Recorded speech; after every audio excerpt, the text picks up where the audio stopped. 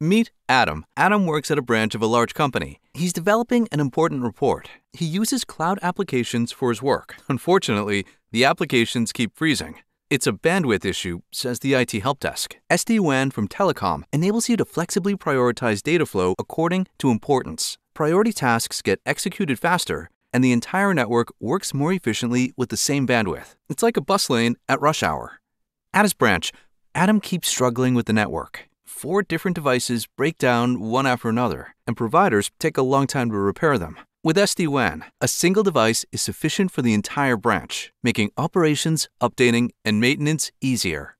Adam already missed the deadline for his report once. A cyber attack disabled the entire network connection with the application and access to resources. With SD WAN from Telekom, employees in branches and those working remotely have independent, direct, and concurrent access to applications. Architecture based on SD WAN ensures that access to cloud resources and data center is secure and flexible. In addition, it's monitored at every level of security. Telekom professionals take responsibility for security policy and SLA. Adam works in finance, and he's always looking for cost efficiencies. SD WAN from Telekom is all about saving.